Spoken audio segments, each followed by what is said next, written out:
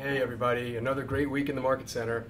New listings taken this week were by Ana Granda, Andrew Mirchek, Auslander Kassendorf Group, Boxer Realty Group, Chris Carosa, Elaine Paracini, Ken Delmar, and Mercedes Bassani. Closed transactions, we have Catherine, Elaine, Frankie, Eileen, Auslander Kassendorf Group and Max, Len, Maria, Anna, Larry, Mercedes, Jody, Lorraine, and Jeff. Whew, I need to sit, down now. Um, all great news, guys. Great week. Oh, and referrals to your team leader. A really great week.